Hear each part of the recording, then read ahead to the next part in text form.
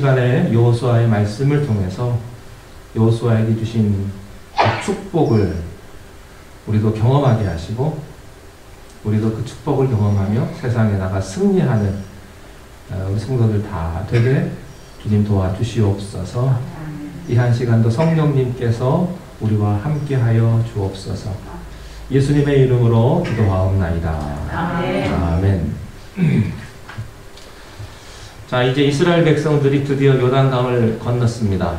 아, 요단강을 건너게 된 두 가지 비밀이 있었습니다. 아, 첫째는 언약궤입니다. 언약궤를 맨 제사장, 하나님의 말씀을 가진 하나님의 제사장이 먼저 앞에 섭니다. 2000 규빗 앞에 서는 거죠. 그들이 요단 강물, 아주 거세게 흐르는 요단 강물을 발로 밟으라는 거예요. 그때 그 세차게 흐르는 요단 강물이 역류하기 시작을 합니다. 여러분 세상에 물이 거꾸로 흐르는 법이 어디 있습니까? 물은 높은 곳에서 낮은 곳으로 흐르죠. 그러나 그때 그런 사실이 있었다는 겁니다. 저는 그 사실을 믿습니다. 어. 여러분도 믿을 수 있기를 바랍니다. 아멘. 성경에 보면 역사에 하늘의 해도 스탑을 했던 기록이 한 번 있죠. 어, 이 사건은 너무나 놀라운 일이었기 때문에 하나님이 여호수아에게 이렇게 말씀을 합니다.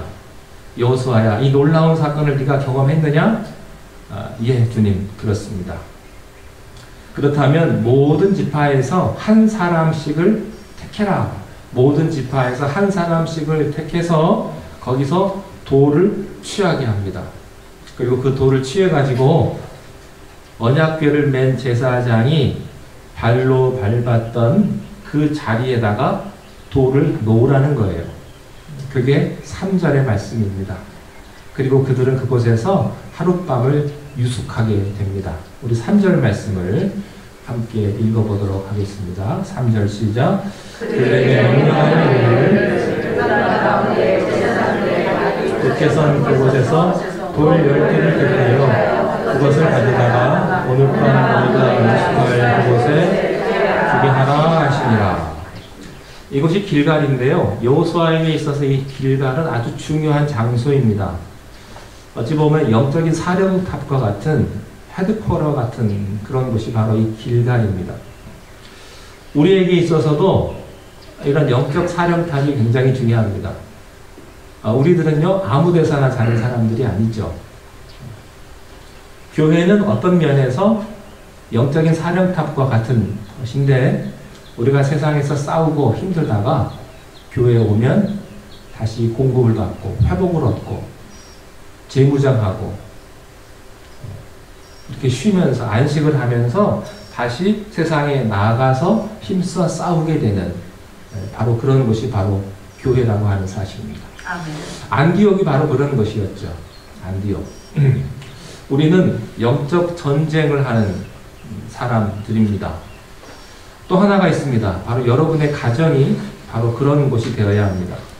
세상에서 열심히 싸우다가 가정에 들어가면 참 안식이 있고 평안이 있고 위로가 있고 재충전이 있는 그런데 집에 가서 쉴 수가 없어요. 집에 가서 충전되지 못하고 집에 가서 위로받지 못하면 세상에 나가서 패배할 수밖에 없다는 사실입니다. 요단강을 건널 수 있었던 첫 번째 비결은 언약궤였다. 말씀이었다. 이 말씀이 참 중요합니다. 여러분 우리는 항상 하나님의 말씀을 앞세워야 될 줄로 믿습니다. 여러분의 생각을 앞세우지 마십시오. 특별히 여러분의 감정을 앞세우지 마십시오. 사람은 감정의 동물이기 때문에 아무리 믿음 있는 사람도요, 자기가 기분 나쁘면 감정이 앞서게 됩니다. 그러니까 모든 것을 감정으로 처리하는 사람은요, 수준 낮은 사람이에요. 저는 여러분들이 아무리 힘들고 고달퍼도 감정으로 무엇이든지 대하지 마시고 하나님의 말씀으로 문제를 대할 수 있는 그런 믿음이 있으시기를 바랍니다. 아멘. 또 하나의 비결은요, 성결이에요, 성결. 하나님께서는 용서하지 않았습니다. 돌로 쳐 죽여라. 아간을 예, 돌로 쳐 죽여라 이렇게 명령을 하셨죠. 아간이 속였습니다. 여러분 전쟁할 때 거짓말하면 안 돼요. 하나님이 용서를 참 많이 해주시는데요. 이때는 가차 없으세요. 예, 어떤 큰 일을 앞두고 큰 일을 앞두고 하나님은 용서하지 않았습니다. 그래서 아간이 돌에 맞아 죽어요. 그래서 아골 골짜기라는 말이 거기에서 나오는 거죠. 이게 무슨 얘기냐면 이만큼 이만큼 순결이 중요하다는 거예요. 제일 중요한 것은요 능력이 아니고 순결입니다. 순결. 얼마나 그 사람이 유능하냐, 얼마나 그 사람이 권력이 많으냐 이게 중요한 게 아니고요. 그 사람이 얼마나 깨끗하냐, 거룩하냐. 능력이 많으신 하나님 앞에 여러분 우리가 무엇으로 나아갈 수 있겠습니까? 우리가 능력이 있으면 얼마나 있겠어요? 하나님이 원하시는 사람은 능력 많은 사람이 아니고 정직한 사람, 깨끗한 사람, 순결한 사람을 하나님이 들어 쓰신다는 겁니다. 그래서 두 가지의 명령, 너는 말씀을 의지하라. 하나님을 향해서는. 그리고 나 자신을 향해서는 어떻게 해요? 성결하라. 정직하라. 여러분 이것이 영적 전쟁의 승리의 비결이라는 사실입니다. 결국 요단강을 건너갑니다. 어, 우리가 살아야 할 것은요 광야가 아닙니다. 우리가 이 광야 같은 세상에서 어, 길어야 한 100년 살죠. 그리고 이 광야를 우리가 넘어서 적과 꿀이 흐르는 이상이 있는 하나님이 약속하신 가나안 땅으로 들어가게 될 거예요. 우리들은 요단을 건너서 저 건너편에 있는 이상의 땅, 비전의 땅을 바라보고 사는 사람들입니다. 그래서 말이죠. 세상에서 제일 비참한 사람은요, 내일이 없는 사람들. 이상이 없고, 목표가 없고. 여러분, 내일은 누구에게 의미가 있냐면요, 내일 일어나서 할 일이 있는 사람에게 의미가 있는 거예요. 내일 내가 할 게 아무것도 없어요. 모레도 할 일이 없어요. 1년 후에도 할 일이 없어요. 그게 뭐예요? 아무 의미가 없는 거지. 여러분, 젊다는 게 뭐예요? 꿈이 있고, 내일이 있고, 목표가 있다는 거예요. 아무리 젊어도 꿈 없이, 내일 없이 살아가는 젊은 사람이 있고, 아무리 연세가 많아도요, 할 일이 있고, 목표가 있고, 비전이 있는 사람은요, 사는 방법이 달라요. 그런 사람은 축복도 다르고, 능력도 달리 나타나는 것입니다. 꿈을 잃어버린 사람, 목표를 잃어버린 사람, 내가 죽음 후에 이상이 없는 사람들은요, 삶의 의미가 없는 거예요. 여러분, 죽음 후에 영원한 세계가 있는 것을 믿는 사람만이 우리가 이 세상을 살아가는 동안에 이 세상의 고난과 질병과 모든 부조리와 이런 역경들을 이겨낼 수 있는 힘이 있는 것입니다. 아멘. 저는 여러분들에게 이 세상을 이겨낼 수 있는 힘이 있으시기를 바랍니다. 아멘. 여러분 세상은 내가 싸워 이기는 것이지 피하는 게 아닙니다. 예. 여러분에게 시험이 올 것입니다. 예, 여러분 기도할 때 나에게 시험 오지 시험 들게 시험이 오지 않게 기도하지 마세요. 내가 시험을 싸워 이기는 것이지 시험이 안 올 수가 없습니다. 여러분 세상에 나를 대적하는 원수는요 곳곳에 있어요. 교회에 와도 있어요. 여러분 교회에 와서 천사들만 있을 거라고 착각하지 마세요. 착각 중에 제일 큰 착각이 그거예요. 교회는요 죄 많은 사람들이 오는 것이기 때문에요. 여러분 얼마든지 교회에 오셔서 시험 들수 있고 어, 여러분에게 문제가 될 수 있다고요. 중요한 것은 그 시험을 내가 어떻게 이기느냐, 어떻게 승리하느냐에 있다고 하는 것입니다. 그리고 여러분 나를 대적하는 원수가 있을지라도 마음을 담대하게 하시고 피하지 마시고 정신 똑바로 차리고 집중하십시오. 그리고 하나님께 도움을 요청할 수 있기를 바랍니다. 네, 그러면 승리할 거예요. 네. 내가 정신 안 차리고 있으면요, 내가 져요. 그러나 내가 정신 똑바로 차리고 있으면 네, 이기, 이기는 겁니다. 하나님께서 이렇게 말씀하십니다. 기념도를 세워라. 이것을 기념하라. 여러분 언제나 여러분의 신앙에 전쟁의 사령탑이 있어야 되고요. 하나님이 여러분과 함께 하셨던 바로 그 자리, 그 시간, 그때 그 믿음, 그 은총을 날마다 회상하셔야 합니다. 어제 뉴스를 보니까 Juneteenth라고 해가지고 공휴일을 하나 만들었더라고요. 노예 해방을 아마 기념하는 그런 것 같아요. 그거 왜 할까요? 조금 있으면 Fourth of July가 오죠. 독립기념일. 왜 기념일을 만들어요? 왜 우리가 기일에 아, 추도 예배를 드려요? 기억하기 위해서예요. 기념하기 위해서예요. 부모님을 기억하고 나라를 기억하고 여러분 신앙도 마찬가지입니다. 하나님을 기억하고 주님을 기억하고 하나님이 내게 주신 축복을 매일매일 기억하는 거예요. 그래서 하나님께서 기념도를 세워라 하는 거예요. 자, 여기서 하나 재밌는 게 있어요. 그것은 기적은 매일 일어나는가 하는 거예요. 물론 매일 일어나긴 합니다만, 네, 그렇게 자주 일어나지 않아요. 하나님과 어떤 특별한 체험, 이런 기적들을 평생에 한 번도 경험해 보지 못한 사람도 있고, 어떤 분들은 몇 번 경험하기도 합니다. 물론, 삶이 기적이다. 뭐, 그래도 말은 되 긴 합니다만, 그래도 어떤 특별한 하나님과의 경험과 체험과 이런 기적들을 경험하는 특별한 때가 있어요. 인생에 몇번 그럴 때가 있습니다. 그때가 아주 중요해요. 저 같은 경우도 몇 번 있었어요. 참 힘들고 어떻게 해야 되나. 번아웃 했을 때 하나님께서 다시 한번 힘을 주셔서 새 힘을 주시고 그랬던 기억이 있어요. 여러분도 아마 그런 적이 있으실 거예요. 정말로 힘들고 지치고 어떻게 해야 될지 모를 때 하나님이 나타나셔서 나에게 힘을 주시고 기적을 베풀어 주시고 능력을 베풀어 주셨던 그런 하나님이 여러분들에게 어쩌면 10년 전, 20년 전, 아니면 며칠 전에 아마 있었을지도 모르겠습니다. 근데 그런 것들이 바로 이 사람들에게도 있었다는 거예요.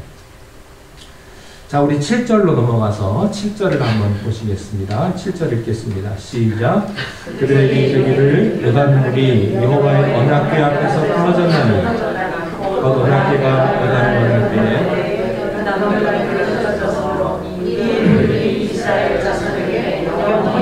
영원히 기념이 되게 하리라. 이게 중요한 거예요. 영원히 기념이 되게 하리라.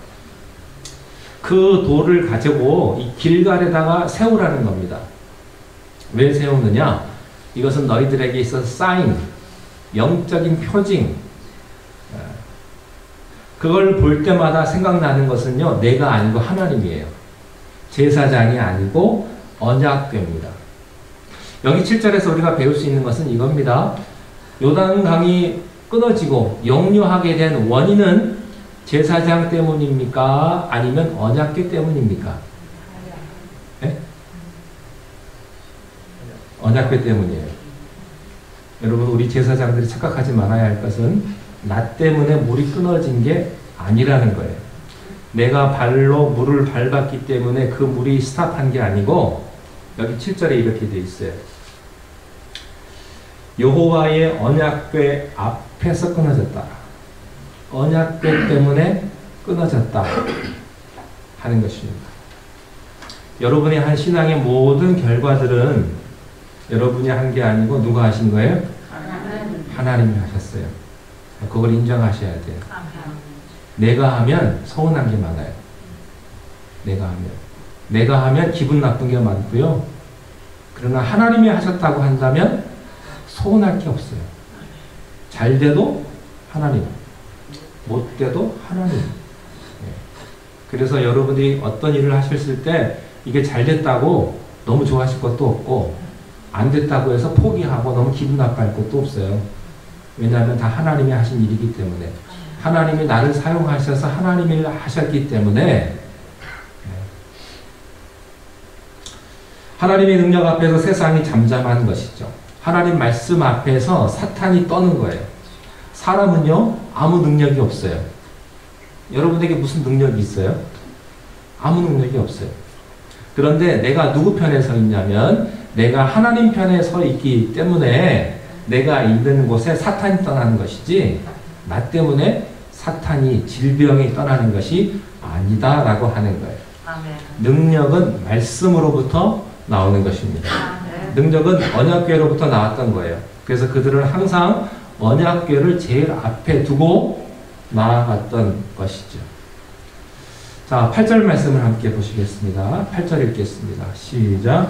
이스라엘 자손들이 여호수아가 명령한 대로 하되 여호와께서 여호수아에게 이르신 대로 이스라엘 자손들의 지파의 수를 따라 여단 나오면서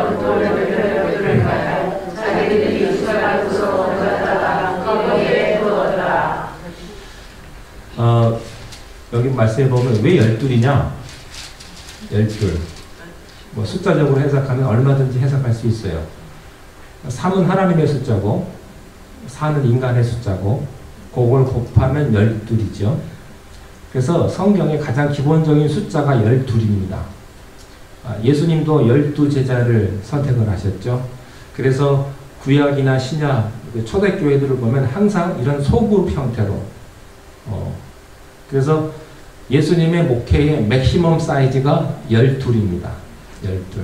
그래서 뭐 목회 행정학 같은 거 배우면 소그룹으로 구역이나 목장을 만들 때 12명을 넘지 않게 네, 이렇게 하는 뭐 그런 게 있습니다. 자, 12도를 취해서 하나님의 명령에 순종하는 여호수아. 4절은 말씀을 듣는 여호수아고요. 8절은 말씀대로 순종하는 여호수아예요. 그런데 13절에 보니까 그 사람들의 숫자가 모두 몇 명이냐면 4만 명. 적은 숫자가 아닙니다. 네, 굉장히 많은 숫자죠.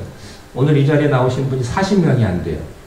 제가 얼핏 보니까 우리 교인이 40명이 안 되는데 40명 정도의 교회가 1000개가 있는 거예요. 1000개.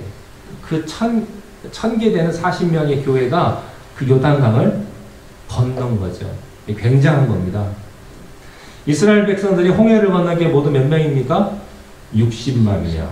오늘 여기는 4만 명이 요단강을 건너게 돼요. 그래서 그들이 여호와 앞에, 앞에서 건너가 싸우려고 어디로 가냐면 여리고 평지로 갑니다. 여리고 평지. 자, 13절 한번 보시겠습니다. 13절 읽겠습니다. 시작. 무장한 4만 명 가량이 여호와 앞에서 건너가 싸우려고 여리고 평지에 이르니라. 자, 어, 요단강을 건너면 끝나는 게 아닙니다. 인제 시작입니다. 아직 여리고성은 가지도 않았어요. 그러니까 본 전쟁은 시작도 안 한 거예요. 어떻게 보면. 물론 맨 처음에 하나님 말씀에 순종해서 마음으로는 다 이겼죠. 다 승리했지만 이제 진짜 싸움은 아직 시작도 안 한 거예요. 이제 요 요수아와 그의 군대들이 여리고 평지 앞에 지금 가 있는 것입니다. 어, 한 문제가 끝나면 다 끝난 게 아닙니다. 한 가지의 어려움이 끝나면 그것으로 다 끝나는가? 아니에요. 그것은 한 문제가 해결되는 것은 다른 문제를 해결할 기초가 얻어진 것 뿐이에요. 그것을 가지고 다음 문제를 해결할 수 있는 거예요. 더 큰 전쟁이 있습니다. 더 큰 역사가 기다리고 있는 거예요. 여러분에게 있어서 여러분에게 시험이나 어려움은 끝나지 않습니다. 더 큰 어려움이 여러분을 기다리고 있을 거예요. 그러나 우리는 승리한다 하는 것입니다. 자, 그렇게 해서 요단강은 다시 흐르게 됩니다. 우리 24절로 한번 넘어가겠습니다. 24절. 24절이 이렇게 되어 있어요. 이는 땅의 모든 백성에게 여호와의 손이 강하신 것을 알게 하며 저는 여러분의 비즈니스와 여러분 자신을 통해서 하나님의 능력이 나타날 수 있기를 바랍니다. 너희가 너희의 하나님 여호와를 항상 경외하게 하려 하심이라 하라. 여러분의 존재, 여러분의 존재 자체가 의미가 되는 거예요. 바로 이것이 여호수아에게 나타났던 축복이었습니다. 요단 강이 끊어지고 그리고 하나님의 능력이 나타났던 바로 이 영적인 경험, 영적인 승리의 경험을 가지고 성을 무너뜨리는 그런 기초가 그들에게 나타나게 된 것입니다. 다음 주에 할 거지만 우리 5장 1절을 읽고 마치도록 할까요? 5장 1절을 함께 읽겠습니다. 시작. 요단 서쪽에 아모리 사람의 모든 사람의 모든 왕들이 여호와께서 요단 물을 이스라엘 자손들 앞에서 말리시고 그를 건너게 하셨음을 듣고 마음이 높고 이스라엘